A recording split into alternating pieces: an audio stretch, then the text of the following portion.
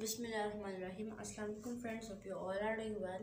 So this is me Rameen Ali and today I told you that use of can or could. So first talk about the ability. Can expresses ability and cannot which we also say can't shows inability. Example she can speak 10 languages. She has ability that she speaks 10 languages. I can't cook. I have inability that I can't cook. Can you speak Spanish? There are three examples. Always remember that can expresses ability and cannot shows inability. Sometimes can is used in the sense of may to give permission.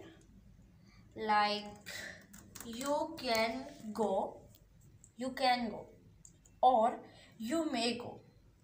Can is used in the sense of may.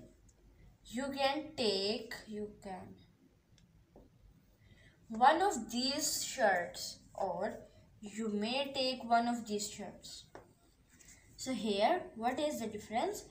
Can is used in the sense of may. You can go or you may go. So now talk about now we can talk about another ability like if we can here use you can't go or you may not go. No it's not correct. This was an ability that can express his ability and cannot shows an inability.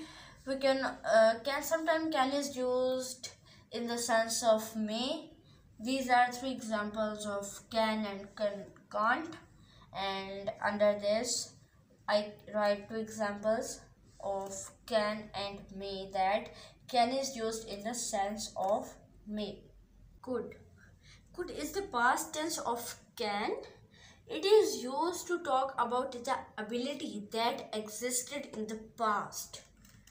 Could is the past tense of what? Of can it is used to talk about uh, like the ability that existed in the past.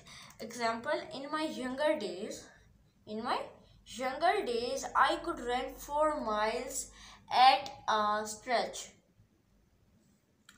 Till last year i could read without glasses. Till last year i could read without glasses. This could is the past tense of can. And it's here used about younger day uh, like in my younger days till last year it's the ability that existed in the past.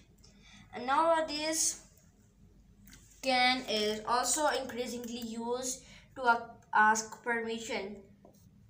Like can i go or may i go? Nowadays can is increasingly used to ask permission. Can I go? Or we also use like can is used in the sense of may. Can I go or may I go?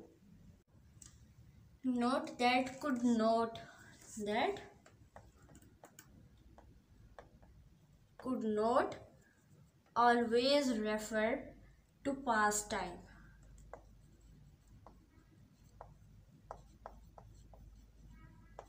To past time.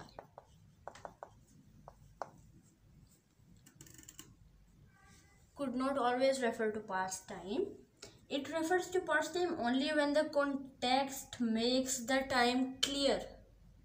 When the context make the time clear. Could is also used uh, to ask polite questions. Example, could you please take me to the manager? Could you please take me to the manager. This is a politely we can say this politely and it's also a question. Could i have a look at your papers or notebook whatever book? Possibility. Could may express possibility or uncertainty. Example you could do it.